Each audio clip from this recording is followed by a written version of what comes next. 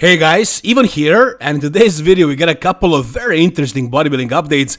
The first one is Andrew Jacked, basically the weighings uh, for Texas Pro, and they did this cool thing, they actually measured these athletes on stage to see how much they weigh, and apparently Andrew Jacked is nearly 300 freaking pounds at one day out. Guys, 299 which I believe is like a 20 pound gain from his last year's, let's say, the best edition, which was the Arnold Classic in my opinion. He was in good condition, and I remember Chris Aceto saying that he was uh, 280 on that stage.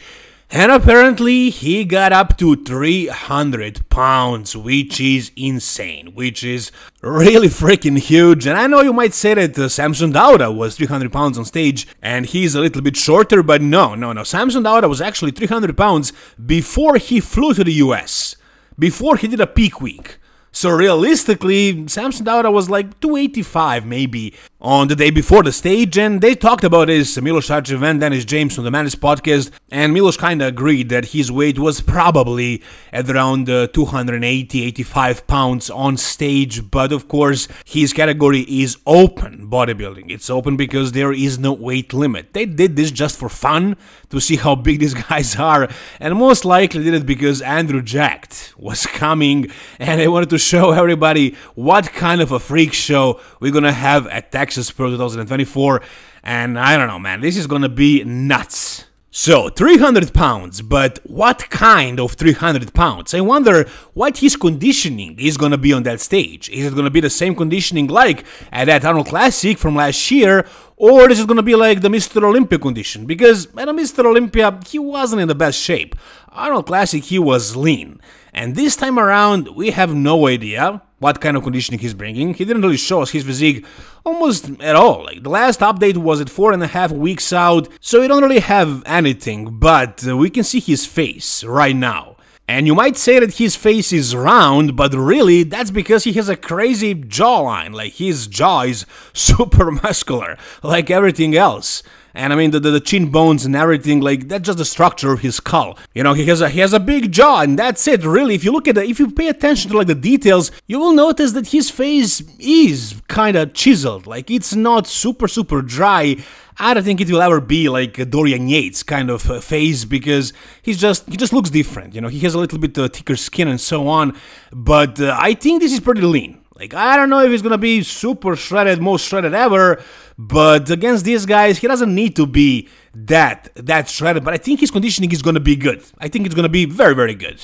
I don't even need to say it, but good enough to win this show quite easily. Now, in that last update we saw from Andrew Jacked, it looked like he improved his arms more so than anything else.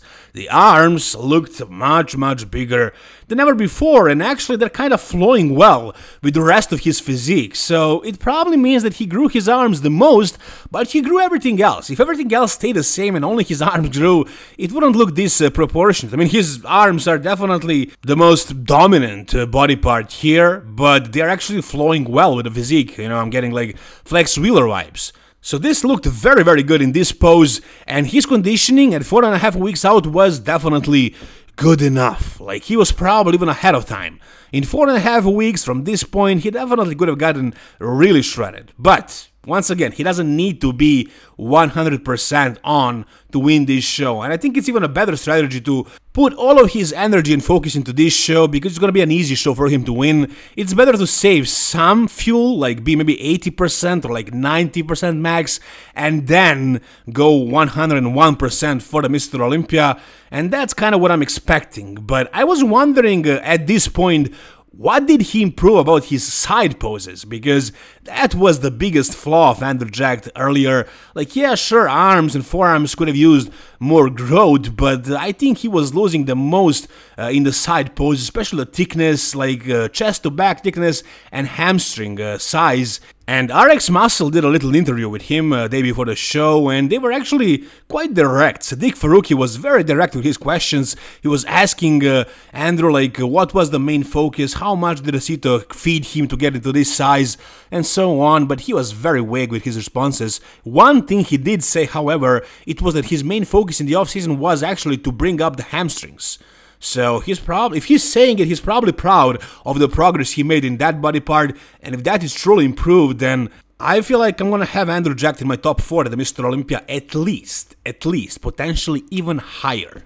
So I think this year is going to be a very, very good year for Andrew Jacked. Once again, in this interview, you can see his face and you can see like all the lines. He is definitely lean. He's definitely stage ready, but you know, I'm wondering, I can't wait to see him actually tomorrow on stage to see what kind of improvements he made, but I, I really can't wait to see him on the Mr. Olympia against all of those guys. If he made improvements that it seems like he made, he's gonna be extremely dangerous. Now, if we're talking about Andrew Jacked potentially winning the Mr. Olympia or placing like inside of the top three, he needs to go against uh, this freaking monster. Can Andrew Jacked do anything about this? Like, he can't play Hadi's game. He will never be this freaking thick, this freaking round. Like, look at the freaking uh, arms here, and then the, the, the lats, how much they're popping out. Like, simply the, the, the size, the roundness, the fullness of everything. Like Andrew Jacked with his height, with his frame, he will never have anything like this. Like if he was like this, this big, he would have to be like, I don't know, 400 pounds on stage. So this cannot be his game. He needs to go with like the lines, the aesthetics, the, the, the height, you know, that kind of stuff.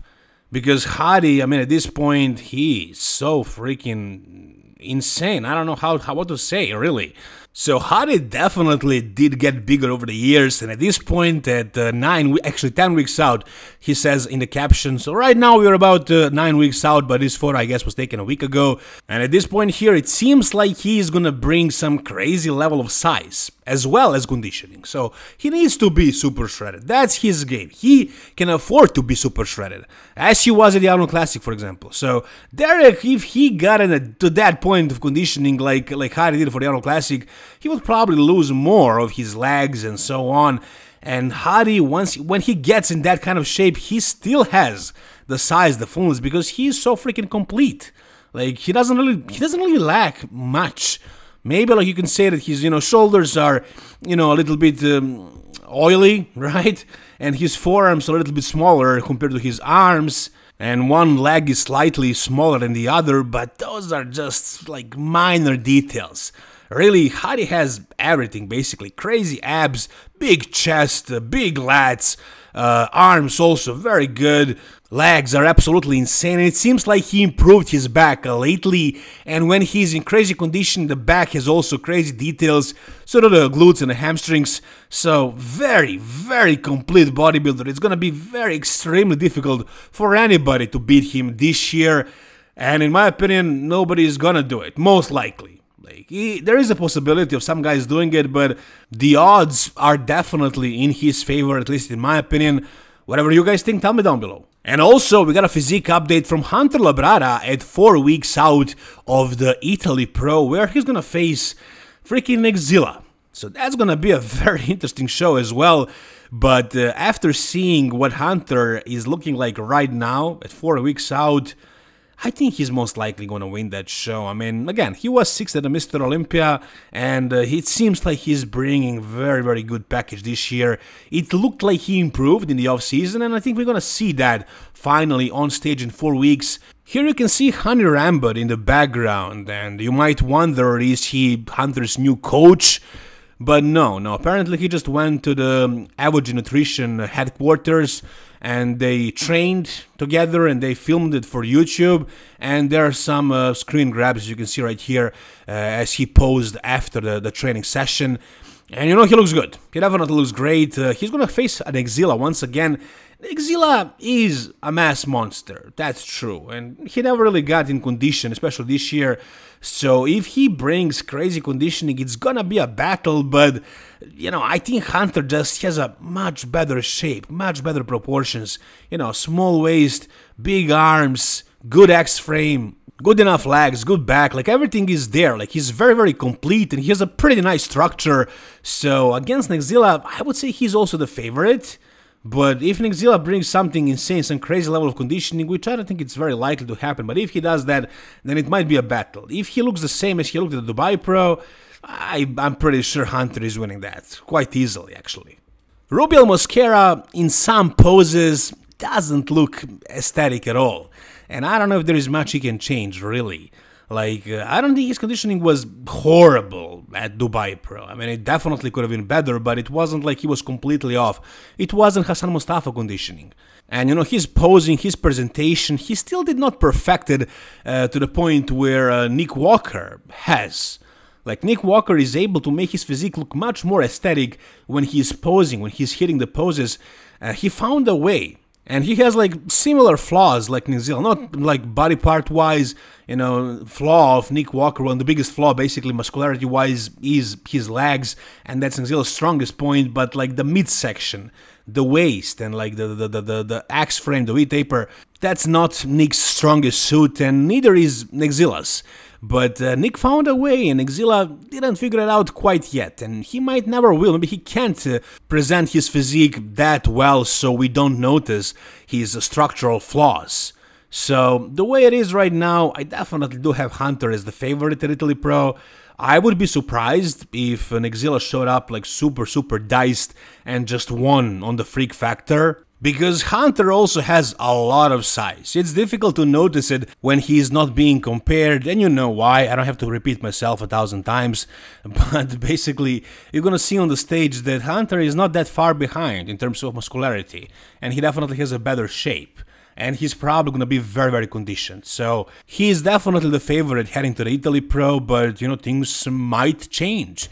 Whatever you guys think, tell me down below. If you guys enjoyed this video, give it a thumbs up. For more content like this, guys, about bodybuilding, please stay tuned, subscribe to the channel. Thank you so much for watching. All the best, guys, and bye-bye.